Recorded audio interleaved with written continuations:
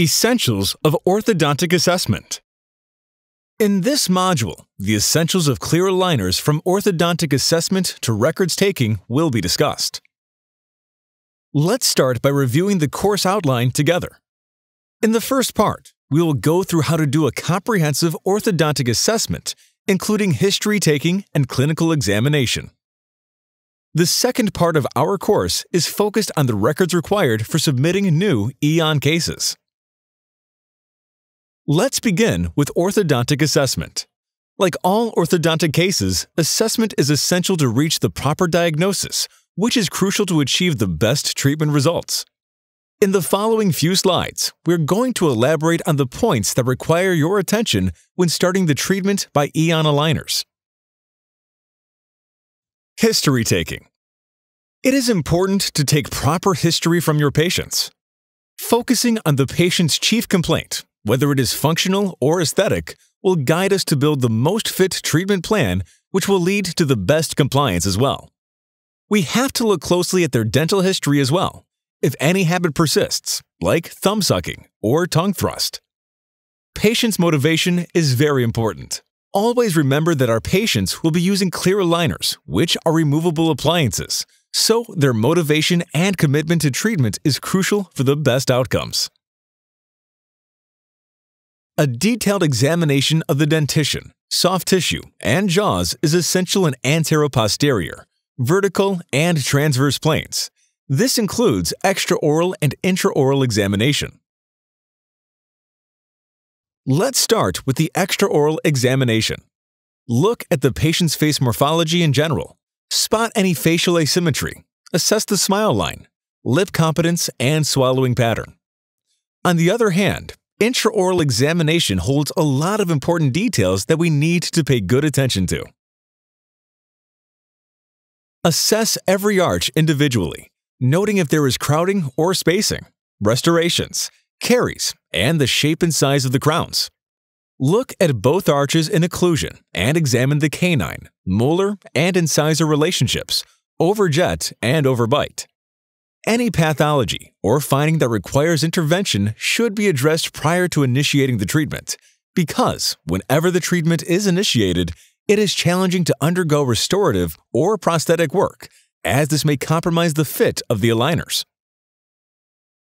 Now, moving on to the second part of this presentation, the records that are required for submitting cases, extraoral photos, intraoral photos, PVS impressions or intraoral scans and bite registry, X-rays, panoramic and cephalometric and treatment submission form.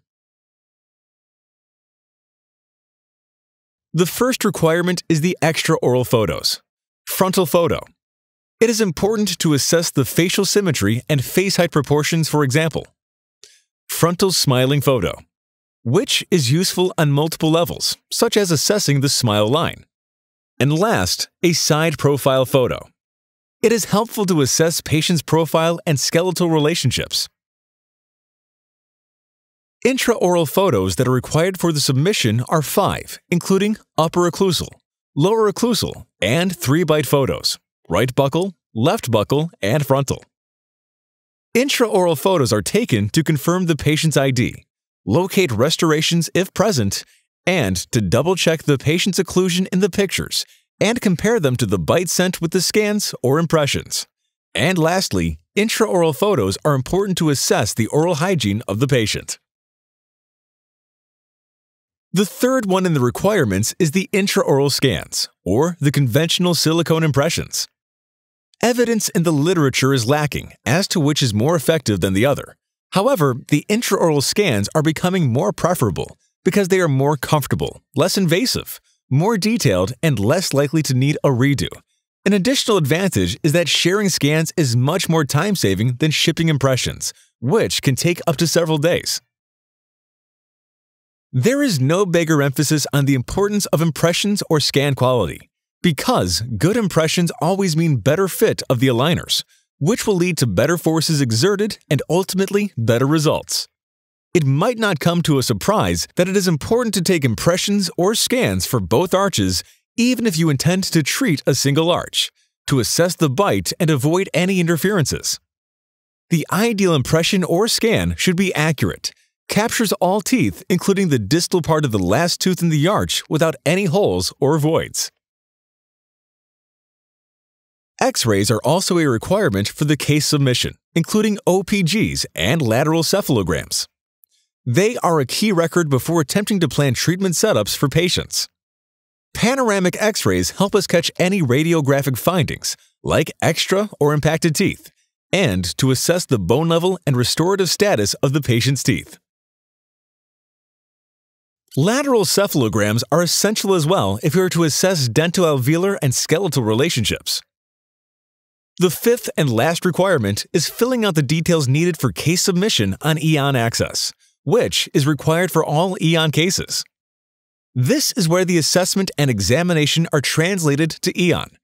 This includes patient's information, chief complaint, treatment summary, arches to be treated, wear cycle, teeth movements restrictions, and finally, a section of advanced treatment options, which is optional. Lastly, we're going to discuss and explain the EON timeframe. Following the submission of the case, EON follows a certain timeframe to complete the shipping of the aligners. If you are using the conventional silicone as records, the impressions will take 2 to 5 business days to be picked up and shipped to EON. Following that, we will generate the treatment setup within 2 to 4 days. And when you approve the treatment setup, aligners will take 7 to 10 business days to be delivered to you. The only difference in the time frame if you are using an intraoral scanner is that the treatment setup will start generating sooner. Any delay in this time frame can be due to the following reasons. Missing records, suboptimal impression or scan, or inexplicit treatment plan. Thank you for watching.